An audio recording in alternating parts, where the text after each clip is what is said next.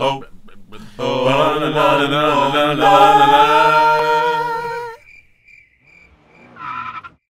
Hello, Simon. We need to talk. Of course, Paula. I have my listening ears on. And my attention pants. Good, because I'm having doubts about judging next season. Oh, Paula, say it isn't so. Are you being sarcastic? I can never tell with you British. No, I'm serious. You're the best. You're the heart and soul of our program. We really need you. Don't leave, please. We couldn't go on. I thought you'd feel that way. All right.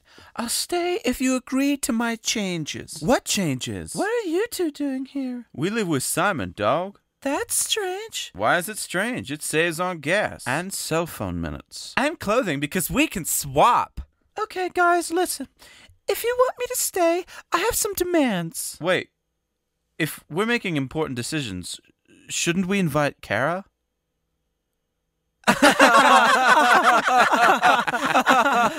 oh, Randy, you slay me. Please, Paula, continue. Okay, demand number one. I want a pony. Sure, we can get you. I wasn't finished. To be the fifth judge. That's in.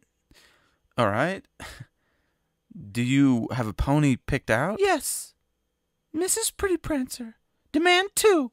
No more female contestants. Paula, we can't. I'm okay with that. And they'll live with me in my house. Simon, I'm moving. And demand three. I want the judges to dress in matching outfits according to the theme of the week. I've brought dolls to illustrate. I've been saying that for eight years, dog. And demand four. I want to change the name of the show. That's impossible. I want to change it to either Paula's Little Idols or So You Think You Can Sing or Paula and Mrs. Pretty Prancer Sing the Hits. We aren't changing the name. Then you leave me no choice. Well, what is it? One sec.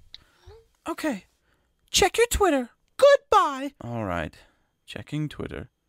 Paula's page. I quit. Twitter quitter! Twitter quitter! This will change everything. Our ratings will drop. No, they won't. Hello? Secretary, get me Mrs. Pretty Prancer.